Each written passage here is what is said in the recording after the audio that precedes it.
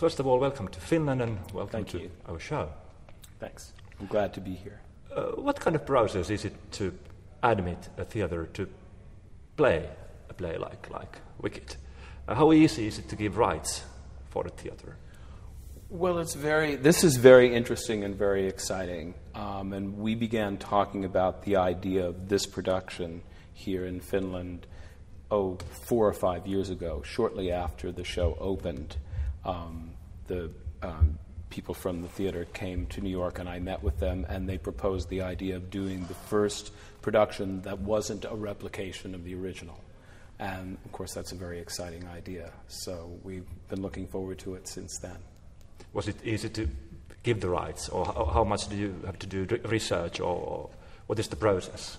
Well, we checked into the theater's history and saw that it had a very good reputation and that they had done other um, non replicated versions of other shows successfully before, and so this seemed like a good place to, uh, to try it out. And, and once that decision was made, it wasn't too difficult to make the arrangements.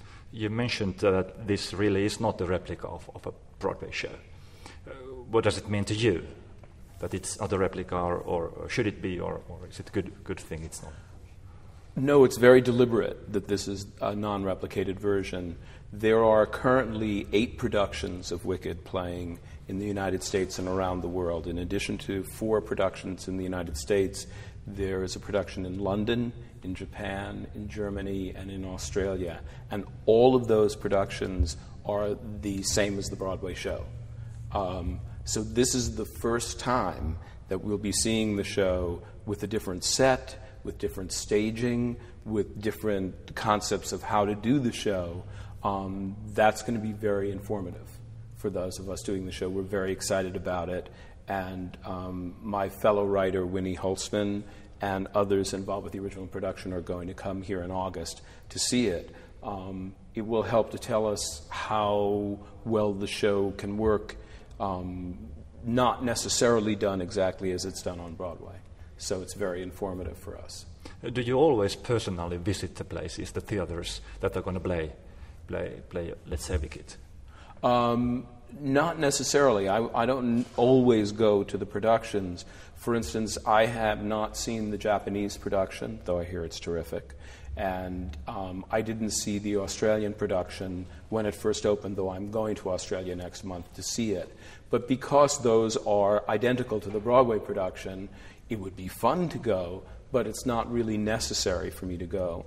Because this is the first production that's different from the Broadway production, that's very interesting and we'll learn a lot. And so, therefore, that's why I came here. F- to be perfectly honest, if what they were doing here was yet again another replication of the Broadway production, unless I could time it so I came and had a holiday in Helsinki, I probably would not have come. How much do you have to give advice for the musicians or, or director for, for the play? How, do you have always something to tell them? Well, sure. I always have a lot of opinions and a lot of uh, advice to give. Um, I try not to interfere, obviously, with what they're trying to do.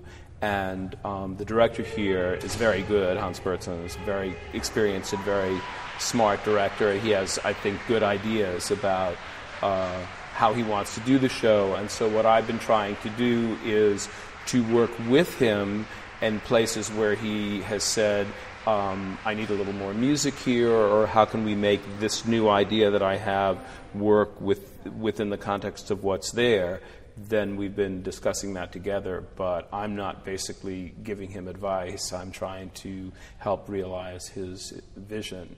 And again, um, the musical director, uh, uh, Christian, I think it, I, I don't know whether it's pronounced Neiman or Nyman, but he's also excellent. And so I'm just trying to be helpful in, in uh, making his job easier. In Wicked, you've also used some themes, some, some notes from your earlier works. Well, no, they're not really from my earlier works. There are uh, a couple of little themes that are snuck in that are actually from the movie The Wizard of Oz. Um, that won't be as meaningful here in Finland as it is in America, where everybody knows the movie by heart. So those are kind of musical jokes that I think are more meaningful in America than here. Yeah, from Over the Rainbow song. Exactly. Yeah. Yeah. But it's, that's not too common for you, or is it? Like, like making these musical jokes, or? Well, it was special for this particular show because in America, the Wizard of Oz movie is incredibly famous. Everybody knows the movie. Most people know every line of the movie by heart. So that, you know, I wouldn't necessarily do that in another show um, or for other reasons. It just seemed particularly something to do for this show. And, and I should emphasize that um, there are just a couple of them and they're hidden.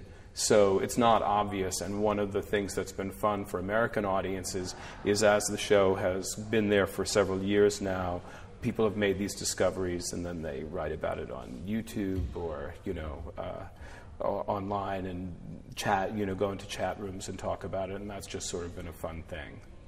Okay, the last question. Uh, what would you like people to feel when they come and see the show? Um, you know, I never have a goal about, I want the audience to feel this or I want the audience to think that. I just try to tell a story um, that's meaningful to me and that I would like to see. Um, and then I feel each audience member will have his or her own response, um, and that's up to them. I'm, I'm not trying to um, you know, teach a lesson or make people, manipulate people into feeling anything. You know, myself and the other people who um, wrote Wicked and put it together just have a story we're trying to tell, and then people will react to it the way they react. Which of the characters in this musical is mo- mo- most closely to you? Well, I really identify with the leading character, Elphaba, who's the uh, the green girl who becomes the Wicked Witch of the West, not because I'm green or a girl, but because um, she is someone who is uh, feels herself an outsider and is kind of rebelling against what she feels are the injustices of her society. And I think we all can um, identify with that in some way or another. I think the reason the show has become so popular is because in some way or another, pretty much everyone has that green girl inside of them. And so I think everybody has a piece of Elphaba and they identify with her. Oh, thank you. Sure. Great.